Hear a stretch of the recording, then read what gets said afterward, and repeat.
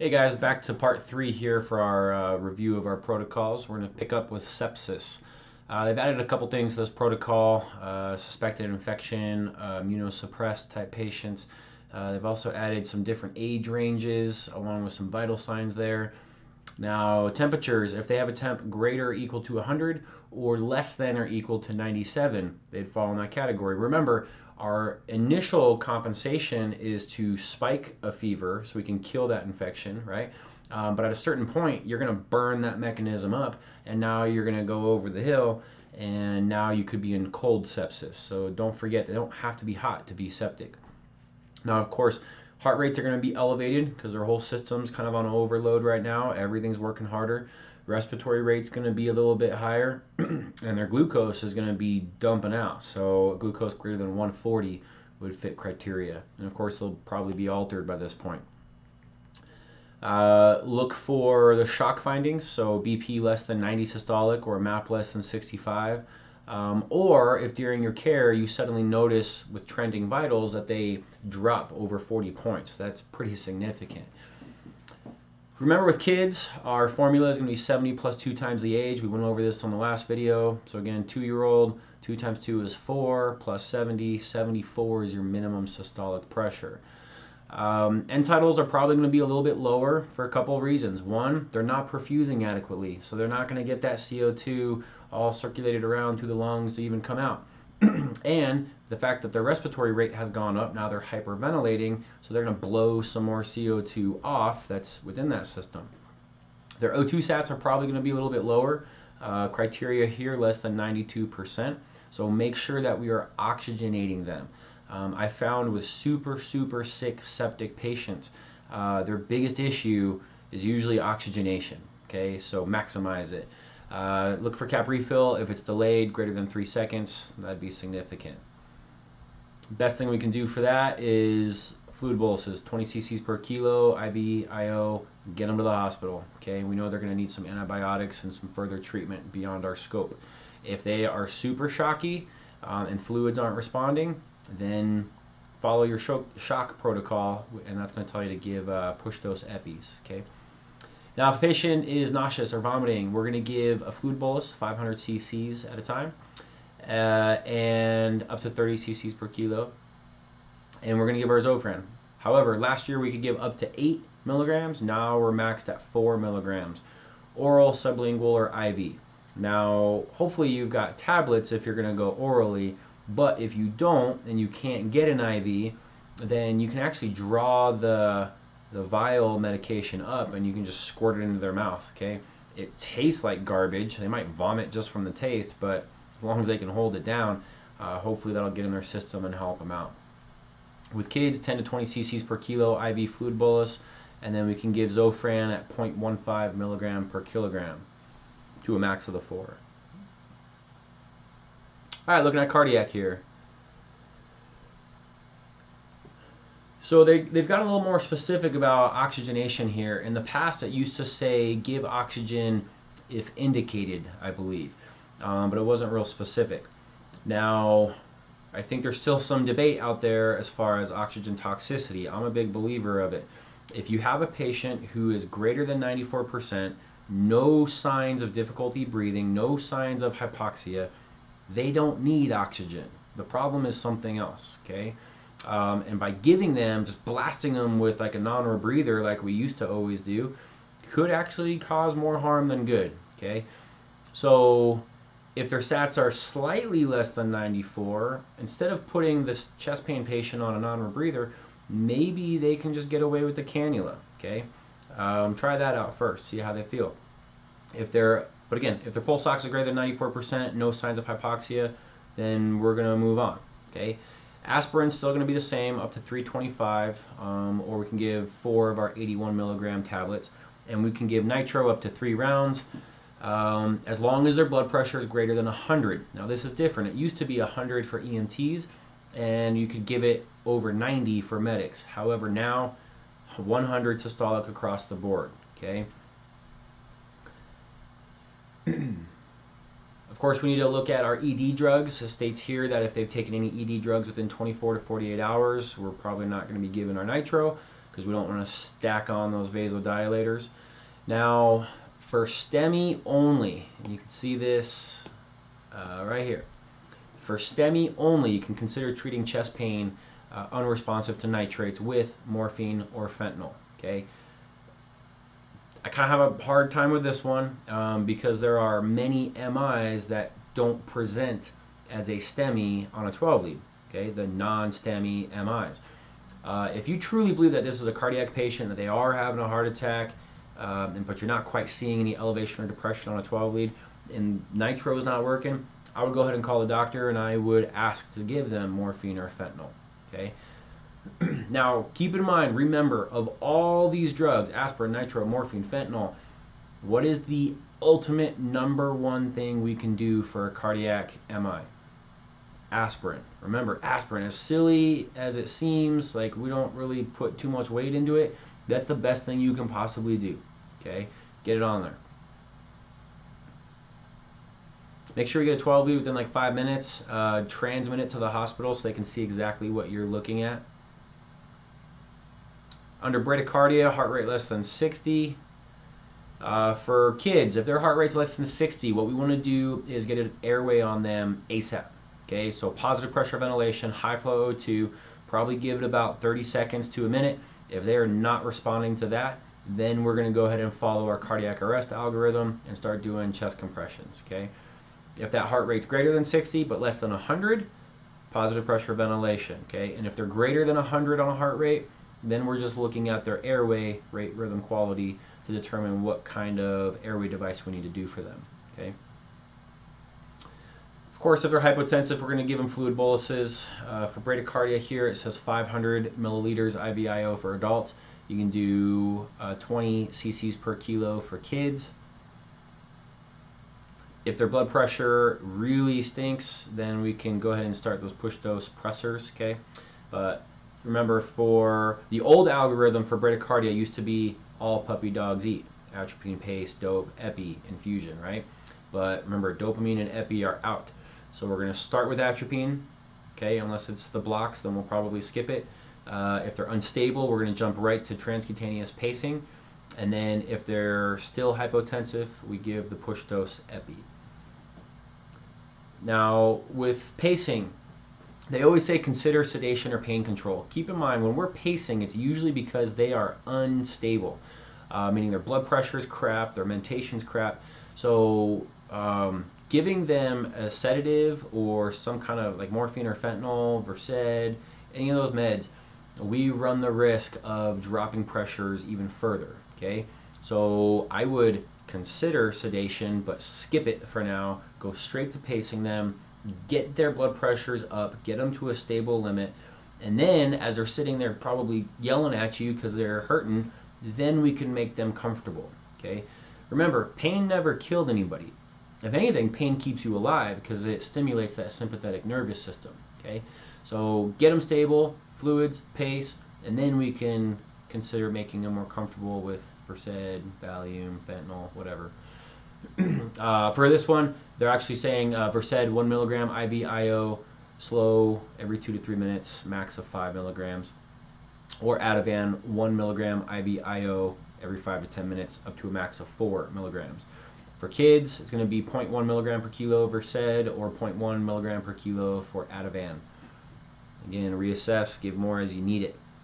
For tachycardia, this is anything over 100 for adults. Now keep in mind with pediatrics, you're probably going to want to refer to one of your charts and figure out, okay, what's their age, what's their weight, and what's normal for that age range as far as vital signs.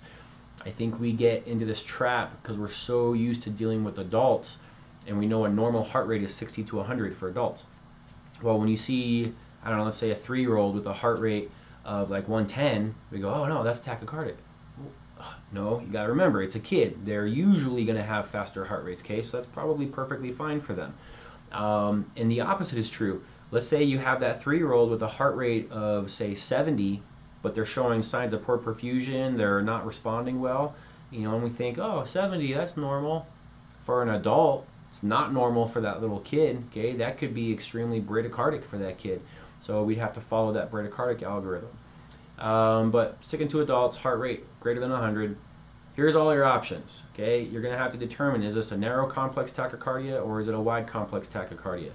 Um, good thing for you, if you can't figure that out, the protocol pretty much sticks the same. Okay, there's been a lot of discussion about, um, you know, when I do my 12 lead classes, I'll show my students rhythms and I'll ask them, is that VTach or is this something else? Okay, could it be one of those SVTs with the aberrancy? Could it be an AFib, A flutter with RVR um, that appears to be wide? Um, regardless, just to make things simple, so you're not arguing about this with your partner in front of a patient, follow the protocol. The protocol is set up to cover your butt, even if you misinterpret that rhythm. Okay, um, if it's narrow and super fast, with SVT, we know we're going to start with adenosine, 6 milligrams initially, then we can give 12. Um, and then, of course, the adenosine, kind of use it as like a diagnostic tool, okay? It's either going to slow that rhythm down just enough where you can really see what's going on underneath it, and maybe you then see, oh, maybe this is AFib or this is a flutter with RVR. Um, and at that point, we'd switch over to the cardizem, okay? Or maybe it converts it, all right? Uh, with Cardizem, they've changed the dose here. We're going to give 0.25 milligrams per kilogram IVIO. Now here's the verbiage that's a little tricky. You're only going to give half of that 0.25 milligrams per kilogram initially, slowly over two minutes, okay? And we're going to wait for 10 minutes, see if there's any change. And then after 10 minutes, if they still remain in AFib A flutter with RVR, then we're going to go ahead and give that second half of that 0.25 milligrams per kilogram. Okay. If they are older than 65 years old, we're going to cut that dose to 10 milligrams max. That's it. Okay.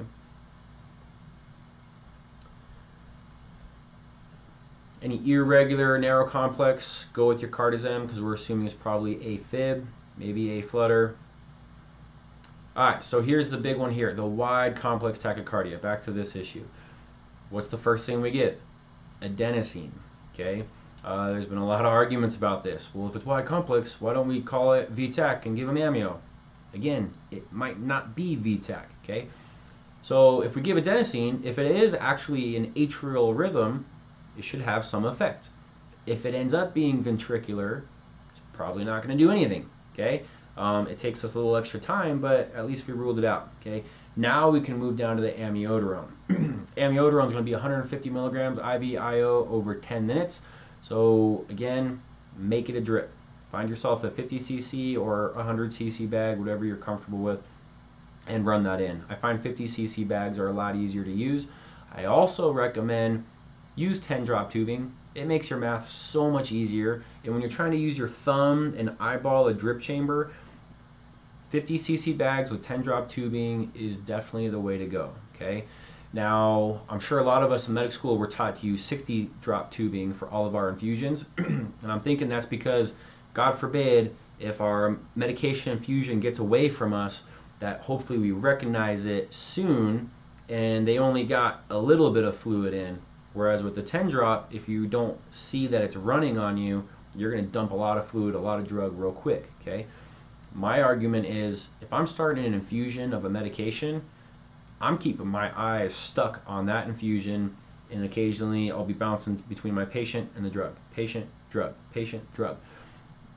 Something to consider when you're in back of an ambulance, the IVs are probably swinging and hitting the wall of your ambo, right?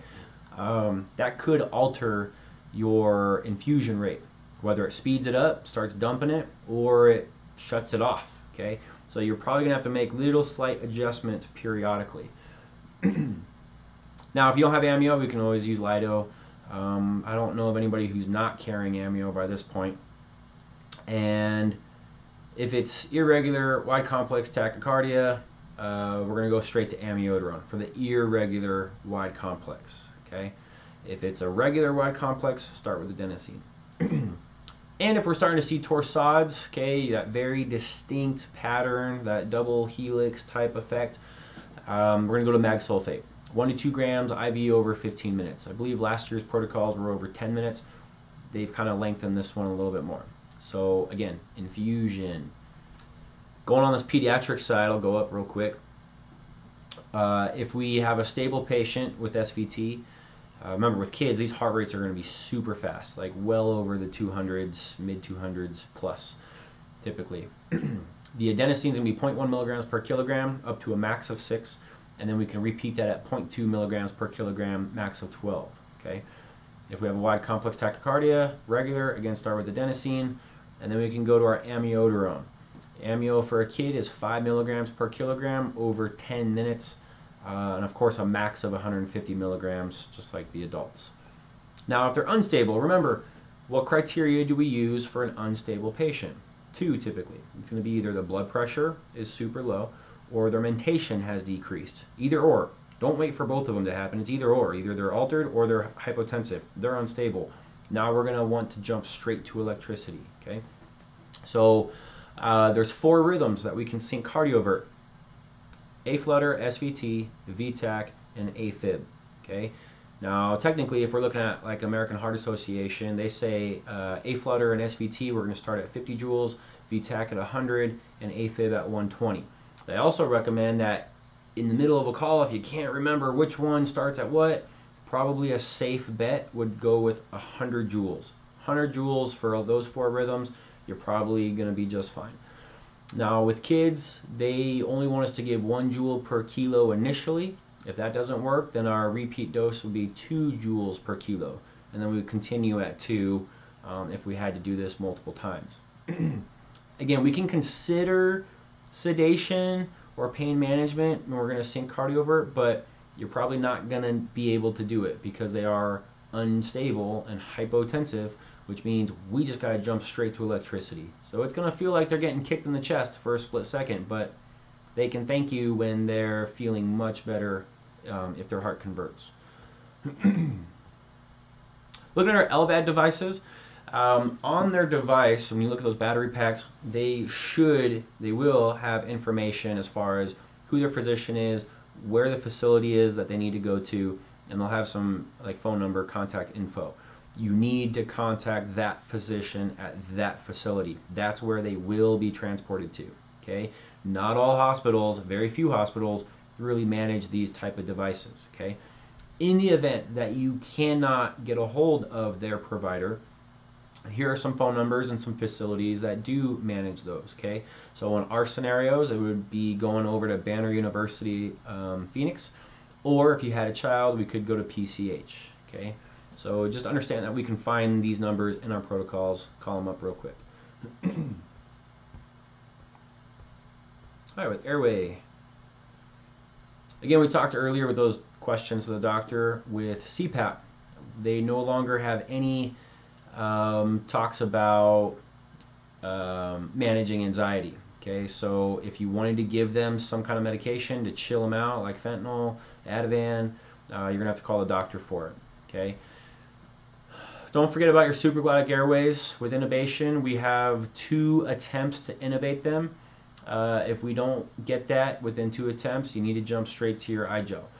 Um, or if you still have King Airways, but I think most of us have iGels or an LMA Supreme or some other type of supraglottic device. Um, they used to remember supraglottic devices used to be thought of as a backup airway, meaning we failed intubation, now we have to go to this. Um, these can be your frontline choice for airway management. Okay, if you have a code and you do a quick size up and you go, man, that's that's gonna be a tough tube. Um, just drop an iGel.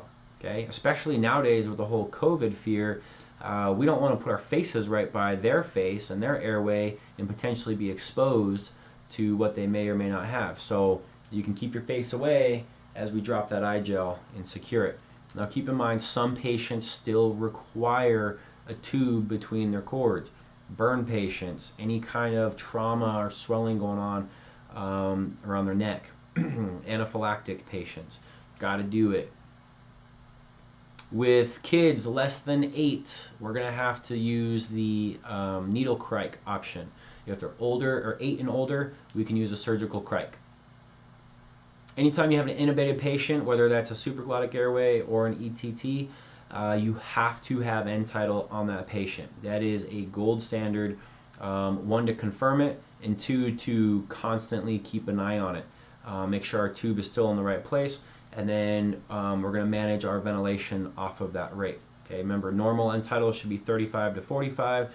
If we're bagging too fast, which almost all of us are guilty of doing, um, that CO2 is going to drop.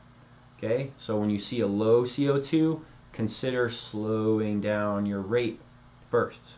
Okay, and if for whatever reason you get busy doing other stuff and you forget to keep ventilating, then those CO2s are going to climb. Okay, which means we need to start ventilating a little bit faster.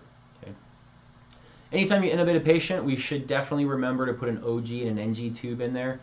I know I'm super guilty of forgetting this all the time. So a lot of times what I'll do is I'll take an OG tube, uh, typically a large one for an adult, and I'll put it right in the middle of my airway roll. I'll roll it up, and so that way when I go to intubate somebody, I open the roll up, and boom, there's my OG tube. And so now I remember, oh, I need to do that when I'm done. Okay. Now, I really wanted to emphasize this, and I highlighted it all for you, um, which now I just completely deleted it all. Okay, if you cannot ventilate, if you cannot oxygenate, you must do what? Crike. You've got to crike your patient. Okay, if you can't ventilate, you can't oxygenate, you got to do it. Um, now, you could ventilate somebody effectively with a BLS airway. Just because you can't tube them doesn't mean you have to crike them. You have a supraglottic airway? Was the BLS airway working for them? Okay, um, but if not, don't hesitate. Remember, less than eight, use a needle eight and older, going surgical crike. Um, quick note, if you're doing a surgical crike, we're going to use a 6-0 tube. Um, I highly recommend the finger bougie uh, scalpel technique. So you don't really need any fancy devices. You don't need hooks. You don't need spreaders. All you need is a bougie, your finger, um, and of course a scalpel to cut it. And then that's all. You'd be fine. Um, all right. Oh, quick note, going back uh, for the chest pain protocol. The old protocols used to mention that if we had a blood pressure greater than 120, we could give nitro without an IV in place. Okay. However, in the current protocol, there's no mention of that at all anymore. So, I mean, I guess technically by protocols, we need an IV in place before we give nitro. Now, one of my biggest pet peeves is when I watch cardiac patients get stuck time after time after time after time, and they become a freaking pincushion. Okay. Um, meanwhile, they still have 10 out of 10 crushing chest pain. They're obviously in distress, and we're not treating them because we're so destined to get an IV. If their blood pressures are 140 plus, I guarantee you one nitro is not going to kill them. Okay. Treat your patient. Give them the aspirin, O2 if they need it. If their pressures are pretty elevated, I promise they're going to tolerate one nitro just fine. Okay, of course we need to at least get a four lead on them, see what kind of rhythm they're in, and then we need to um, get a 12 lead on them. And of course we want to very quickly rule out maybe a right-sided involvement. If there is some like V4R involvement, right ventricle, um, then we probably want to hold off on the nitro in that case until we do get the IV. All right. Also remember blood pressure needs to be over 100 to give nitro. Well, if they're like bordering right around those low 100s, again, I might really want to get an IV first, give them a fluid bolus, maybe 250 cc's, just to kind of um, be ahead of the curve, knowing that when I give nitro, they could vasodilate some and drop their pressures a bit. So um, there's definitely some things to think about there. Okay, what's my pressure? Do we need an IV? Can we start to treat it? Where's my MI located uh, based off my 12 lead? Um, do what's best for your patient. Okay, but don't just make them a pincushion and do nothing for them. Okay. All right, right here for bronchospasms. Um, this is going to be for your adult and pediatrics. Now keep in mind there is a separate protocol for kids under two. And you'll see here highlighted that um, this is for uh, two years old. Now, again, albuterol in the nebulizers, they're wanting a lot of it. So five milligrams at a time, that's two bullets, and you're going to repeat that as many times as you need to for that patient. Okay. Whereas Atrovent, we're still only going to put 0.5 milligrams in there at a time, but we can give it three times total, and that's for adults and pediatrics. Last year we were only allowed to give uh, two to kids and three to adults. Now it's three across the board. Okay, but that albuterol can continuously roll at five milligrams at a time. Now, another thing they added was if they are still struggling to breathe, essentially what we're going to do is give them an anaphylactic dose of epinephrine IM. So using the 1 to 1000, we're going to give them 0.01 milligram per kilogram IM, max dose of 0.3 milligrams. Okay. Give them the Medrol, 2 milligrams per kilogram. I would not make the Medrol my first priority. That'd probably be the last drug I'm going to give them. Uh, remember, Medrol takes a while.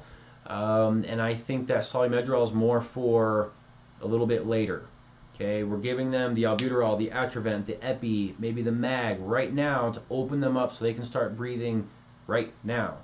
Then we give them the Medrol so that when all these other drugs start to wear off and that inflammatory response starts to come back with vengeance, that's when the Medrol pumps the brakes and allows that patient to recover a little bit better.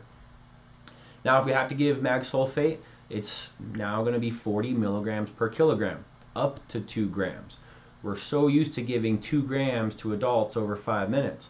Well, now they've changed the dose and they've lengthened the time. We're supposed to give it over 15 to 30 minutes. Personally, I'd probably run everybody at 15 minutes. I'd like to get that mag into them. We've done it for years. We know it works well. Um, so 40 per kilo, up to two, over 15 minutes. Again, grab a 50 cc bag, run your infusion formula, drip it in. Uh, if you use a 50 cc bag, over 15 minutes using 10 drop tubing, it should come out to roughly one drop every two seconds. All you have to do is put the proper amount of mag into that bag. All right, pulmonary edema, this is a new one. This is your CHFer, okay? Think about it, extremely hypertensive, probably a left heart failure. They got crackles throughout their lungs. You're probably gonna start seeing that pink frothy sputum, all right? And it sounds like they're drowning. O2, O2 sats are gonna be through the toilet. Um, obviously, they're going to be tachycardic, tachypneic, Okay, uh, mentation might start to decrease on you. As long as their pressures are elevated, which they probably are in this case, we're going to give nitro, 0.4 milligrams, just like chest pains. However, we are going to give it every three minutes as many times as we need to, as long as their blood pressures are tolerating it. Okay, we want to bring their pressures down, but we don't want to give them so much nitro that we tank them out either. Okay, so keep reevaluating, but keep treating with nitro. Now, this treatment isn't completely unheard of. Uh, typically, with critical care in the hospital, they're going to start a nitro infusion and continuously give them nitro. Uh, so, us giving multiple tabs or sprays is is a good thing. Of course, get your 12 lead, and for the airway purposes, CPAP is probably going to be your uh, choice for treatment. Here's that RSI. Remember, for our agency, we are not doing RSI in any foreseeable future. Um, for those of you that can, it's going to be for 15 and older. Remember, this is for adults, not your kids. We no longer have that protocol for sedation for intubation. So, like I said before in the first part, is we're probably going to reference the RSI algorithm here so we can get our doses for our drugs. Again, I'm a huge believer in ketamine. Uh, here they say 1.5 milligrams per kilogram IV IO push to a max of 150 IV. Uh, if you decided to go with Versed, you can do that too. Uh, but post intubation here, again, if you start with ketamine, you might as well keep rolling with it. Whereas ketamine initial dose is 1.5 per kilo, our continued sedation will be at 1 milligram per kilogram. If you chose to go with the Versed, uh, remember, you probably want to tag team Versed with fentanyl. So a little Versed, little fentanyl every few minutes just to keep them nice and comfortable. Okay, uh, of course, as long as their blood pressures can tolerate it. Um, one thing you might want to look at once you've really managed the patient, try to stabilize them. If they're still tachycardic, consider that they might be in pain. Even though they're unconscious, their body can still perceive that pain or feel it. So remember to give some fentanyl. Uh, little doses though, usually 25 to 50 mic increments. Uh, you don't want to give a lot. Remember, we can always give more if the patient needs it. It's a little harder to take those pain meds back. I think with that, we're going to go ahead and stop that part, and we'll be back again soon.